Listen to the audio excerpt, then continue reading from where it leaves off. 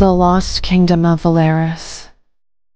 Consumed by its own ambitions, and its people turned into monstrosities. Sealed off and separated from the outside world, it was forgotten for generations.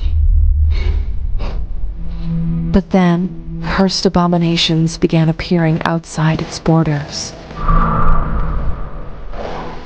On royal orders, numerous scouts were dispatched to investigate the cause.